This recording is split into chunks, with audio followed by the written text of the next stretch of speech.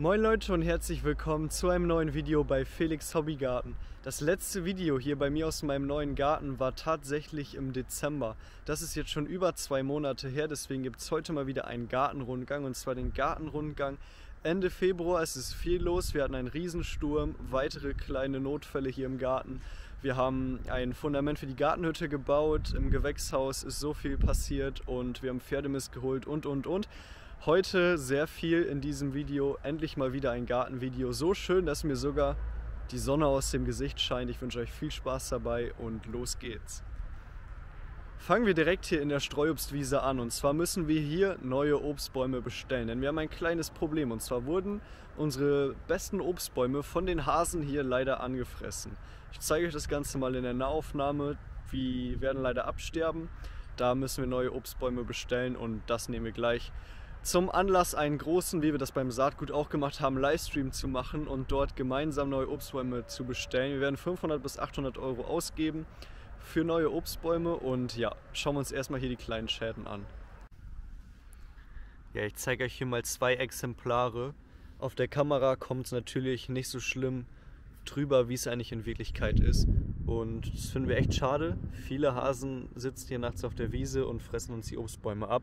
Wir sind natürlich auch doof, wir haben hier keinen Schutz drum, kein Kanickeldraht, kein Kalkanstrich, nichts. Der Zaun ist auch nicht richtig zu, sodass Hasen da auf jeden Fall drunter her können.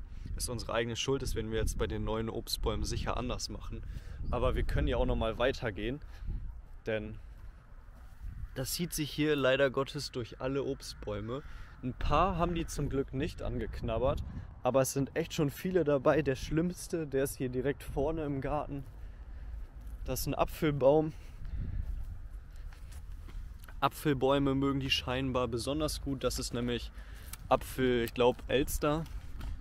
Und ja, so viel zu Obstbaumwiese. Sieht eigentlich ganz gut aus, oder? Und ähm, ja, zum Glück die besten Sachen wie Zwetschge, Pfirsich und so wurden nicht angefressen. Da sieht man das zum Beispiel hier auch bei der Mirabelle. Einmalige Fraßspur war wahrscheinlich für den Hasen nicht interessant. Die werden sich wahrscheinlich was anderes gesucht haben. Genauso hier, ich weiß leider nicht, was es ist, aber leider auch komplett abgefressen, sodass die Hälfte der Obstbäume leider Gottes hier wieder raus muss. Und wir werden, wir haben ja hier noch ein bisschen Platz, seht ihr, unsere Sträubswiese auf jeden Fall vergrößern. Und wenn wir hier mal über den Zaun drüber steigen, sehen wir hier vor schon Frühlingsblüher, die wir im Herbst gepflanzt haben beim Umbautag. Ja, und was sehen wir hier? Das Fundament für unser Gartenhaus ist 3 mal 4 Meter so in etwa. Unser Gartenhaus ist 2,5 mal 2,5 Meter. Das heißt, wir haben ein bisschen mehr hier gepflastert, als wir nicht brauchen. Die Waschbetonplatten hier sind 50 x 50 cm und wir haben das mit meinem Nachbarn zusammen gemacht. An dieser Stelle nochmal ein herzliches Dankeschön.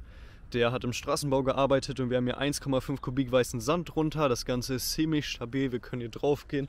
Das ist super gerade und dient so natürlich super als Fundament für unser Gartenhaus, was wir übrigens jetzt in der nächsten Zeit bauen werden und da kommt dann natürlich auch ein Video zu. Also freut euch drauf. Und wenn ich mir das hier so angucke, guck mal, der Frühling, der kommt ganz bestimmt. Heute bei Aufnahme dieses Videos haben wir endlich mal wieder 12 Grad. Jetzt nach dem Sturm tut das natürlich echt gut. Und wir haben das erste Mal 10 Stunden Sonnenschein an einem Tag diesen Jahres. Das ist gefühlt so wie äh, ein Viertel vom Januar, was wir hier heute an Sonnenstunden haben. Und es fühlt sich echt gut an nach dem Sturm. Denn wir werden uns jetzt mal um die Sturmschäden kümmern. Da zeige ich euch mal, was da passiert ist. Und äh, ich sage schon mal, es ist nicht schön. Wir hatten wieder viele schlechte Momente hier im Garten. Wir haben uns das angeguckt, gedacht, das kann nicht wahr sein. Neben den Fraßspuren da an den Obstbäumen ist das die nächste große Baustelle. Aber wir geben natürlich nicht auf, haben direkt eine neue Glasscheibe fürs Gewächshaus bestellt, haben uns Silikon gekauft, dass wir die Hohlkammerstickplatten einkleben können. Und ich würde sagen, da gehen wir mal als erstes hin. Und ich zeige euch das mal aus der Nahaufnahme, denn bei dem Gewächshaus ist uns leider alles rausgeflogen, was drin war. Und deshalb werden wir es einsilikonieren die Scheiben. Beim schlimmen Sturm würden die dann rausbrechen. Aber immer noch besser, als wenn ich die hier auf 3.000, 4.000 Quadratmeter wieder einsammeln kann. Schon komisch, nach langer Zeit auch mal wieder aus dieser Kameraperspektive. Bei den Anzucht-Videos im Keller, da haben wir immer viel vorkommentiert, beziehungsweise nachkommentiert heißt es ja. Wir haben Aufnahmen vorgedreht und das dann am PC nachkommentiert. Hört sich nicht ganz so cool an, keine Gartengeräusche hier, man hört es ja im Hintergrund auch ein bisschen Vögelgezwitscher und das ist natürlich deutlich besser. Wir freuen uns jetzt, dass das Wetter besser ist, denn dann können wir natürlich auch wieder in den Garten und filmen und ich zeige euch mal, was wir hier alles so in der letzten Zeit geschafft haben. Hier haben wir, als wir gepflastert haben, auch gleich einen kleinen Übergang von Folientunnel ins Gewächshaus gemacht. Hier seht ihr schon, in dem Gewächshaus ist wirklich fast alles rausgeflogen, was drin war. Hier haben wir ja gerade unsere Geräte noch drin, bis wir da vorne, beziehungsweise da hinten muss man ja sagen, unser Gartenhaus gebaut haben. Dann wird da alles reinkommen. Und wir schauen mal in den Folientunnel. Die Folie haben wir übrigens auch neu. Ja, Schön, dass natürlich direkt die Naht aufgeplatzt ist. Man sieht das hier nicht ganz. Wir können ja mal von innen gucken. Hier liegen gerade zur Sicherheit die Gewächshausscheiben drin. Und das ist verdammt krass, aber es ist draußen 12 Grad und hier im Gewächshaus ist es schon 20, 25 Grad. Ja, unglaublich cool im Folientunnel. Ich würde am liebsten schon meinen Pullover ausziehen, weil es so warm ist. Aber ähm, hier müssen wir leider doch noch ein bisschen warten mit der Anzucht. Ich denke mal so, in einem Monat, Ende März, wird es dann spätestens hier im Folientunnel mit den Aussaaten losgehen. Haben wir letztes Jahr beim alten Garten auch noch so gemacht. Jetzt haben wir die neue Folie drauf. Ist natürlich schade, dass sie direkt durch den Wind aufgeplatzt ist. Wir hatten den krassesten Sturm hier, habt ihr vielleicht auch bei euch ähm, im Garten gemerkt. Sehr viel ähm, Wind und leider ist dadurch dann am Ende, wo wir jetzt gerade waren, die Folie nach außen gedrückt worden und da die Nummer auf Spannung ist, musste die Luft irgendwo entweichen und die Folie ist an der Naht aufgeplatzt. Was natürlich echt schade ist, denn jetzt haben wir hier ja mit Panzerband alles provisorisch oder auch langfristig zugemacht. Wir wissen es noch nicht, haben keine andere Möglichkeit gefunden, weil im Sturm mussten wir es schnell zumachen, bevor uns die ganze Folie hier abhebt, haben wir das dann gemacht und ich zeige euch das mal, wie das aussieht. Ja, wenn wir hier mal ein bisschen runterschauen, da sehen wir das. Hier an der Naht ist es aufgeplatzt, die Folie. Und das mussten wir leider zusammenkleben. Da sieht man auch noch so ein bisschen, wir hatten die Folie wirklich gespannt, jetzt ist die voll nach außen gedrückt. Ja, und das sind die ganzen Platten, die rausgeflogen sind. Unglaublich. Ja, in der letzten Zeit habe ich euch ja nicht wirklich viel mit der Kamera mit in den Garten genommen. Ich weiß nicht, im Winter fehlt mir da immer so ein bisschen die Motivation. Aber ihr seht schon, wir haben den Folientunnel schon mal innen drin ein bisschen fertig gemacht. Wir haben schon umgegraben. Folie ist drauf im Glasgewächshaus und in dem Gewächshaus haben wir noch viele Geräte stehen. Aber die kommen bald in den Garten, ähm, ins Gartenhaus und dann können wir eigentlich mit den Obstbäumen pflanzen weiter fortfahren. Dann wird das Beet gefräst und dann ist eigentlich auch schon so, dass ich sagen würde, wir können in die Gartensaison starten. Ja, und viele haben es mir immer schon gesagt, ich soll mal mit Pferdemist düngen. Das ist ja, man nennt es ja auch das Gartengold. Und äh, deswegen habe ich mich letztes Wochenende aufgemacht und mit Niklas zusammen vier Hänger voll Pferdemist geholt und das zeige ich euch jetzt mal, wie der aussieht. Der kommt jetzt nämlich in die Hochbeete und wird vom Fräsen auch noch auf den Gemüsebeeten hier hinter mir verteilt und dann haben wir auf jeden Fall eine super Grunddüngung. Ja, zusammen mit meinem Vater bin ich jetzt hier beim Pferdemist. Hier, das ist unsere neue Schubkarre. Und jetzt kommt hier der Pferdemist in die Hochbeete. Wir haben ja insgesamt 16 Stück. Da wollen wir 16 verschiedene Kulturen in Hochbeeten anbauen. Bin ich mal sehr gespannt drauf in diesem Jahr. Und jetzt kommt hier pures Gartengold rein. Ich wurde schon öfter gefragt, ist der abgelagert? Ja, wie man hier sehen kann, ist der schon eine Weile abgelagert. Mancher mehr, mancher weniger, weil die natürlich immer draufgeladen haben. Und wir haben hier, das sieht man auch oben auf dem Pferdemisthaufen, verschiedenste Lagen. Hier oben ist auch noch viel Heu mit durch. Und ja, mal mehr zersetzt, mal weniger. Das Frische oben haben wir natürlich auch mitgenommen vom Misthaufen. Und insgesamt sind das hier vier große Autoanhänger voll.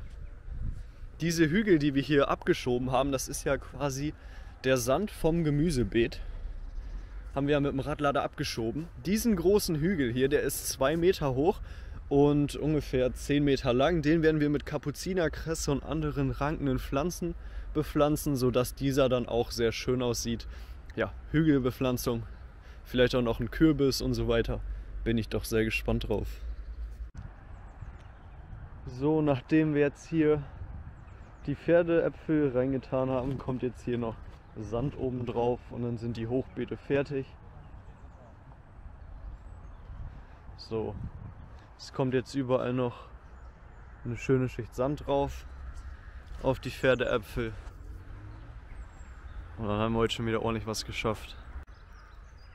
Im Hintergrund von mir, da seht ihr gerade die Sonne untergehen und jetzt wird es auch schon wieder echt frisch. Wir haben immerhin noch Februar. Ja, damit habe ich euch mit diesem Video so ein bisschen auf den aktuellen Stand gebracht, was gerade hier so in meinem Garten Sache ist. Ich stehe jetzt gerade noch im Gemüsebeet, das wird jetzt als nächstes gefräst und wir werden auch noch den Zaun heile machen. Hochbeete sind fast alle jetzt fertig befüllt. Das machen wir heute aber auf jeden Fall noch fertig. Bisschen Sand reinkippen ist, glaube ich, aber nicht so spannend, dass ich das für euch noch mit der Kamera begleiten muss. Und jetzt schauen wir uns noch mal eine Sache beim Glasgewächshaus an und damit beende ich dann dieses Video. Hier sieht man noch ein paar restliche Glasscheiben. Wir haben schon das meiste zusammengekehrt. Hier ist uns die Fensterscheibe rausgebrochen. Die Tür ist auch rausgefallen. Darauf ist übrigens die Fensterscheibe gefallen, deshalb ist sie zersprungen. Die ist auf diesen Rahmen hier geknallt und ähm, hier sind auch die Fenster raus. Deswegen ähm, haben wir die Tür jetzt noch repariert, die kommt wieder rein und dann Sonntagabend, da werden wir live neue Obstbäume bestellen. Also wenn ihr dieses Video seht, am Sonntag, wo es online kommt, heute Abend, Sonntag, werden wir, ich glaube es ist der 27. um, sagen wir mal 20.15 Uhr neue Obstbäume bestellen. Ich hoffe, wir sehen uns dann. Und das war es erstmal von diesem Video. Ich hoffe, ihr seid wieder auf dem aktuellen Stand hiermit. Und freut euch genauso wie ich auf die neue Gartensaison. Das Wetter wird besser, ich stehe im Pullover, auch wenn es gerade echt kalt wird. Aber die Sonne scheint, der Sturm ist vorbei und jetzt geht es richtig auf die neue Gartensaison zu. Ich hoffe, ihr seid auch so fleißig bei den Aussaaten und so weiter. Und ähm, freue mich jetzt schon ankündigen zu können. Das ist die erste Ankündigung überhaupt hier in diesem Jahr dass wir dieses Jahr wieder einen Jungpflanzenverkauf machen. Alles weitere folgt, aber wir werden dieses Jahr auch wieder für einen Jungpflanzenverkauf vorziehen. Falls ihr euch schon wundert, warum wir so viel vorziehen. Ja, wir machen auch hier im neuen Garten einen Jungpflanzenverkauf. Nicht mehr fürs Tierheim, aber trotzdem für einen guten Zweck und für uns. Weitere Infos folgen. Also, bis demnächst. Abonniert mich gerne kostenlos, um nichts zu verpassen. Daumen nach oben geben, wenn es euch gefallen hat. Und ähm, dann sehen wir uns im nächsten Video wieder. Ciao.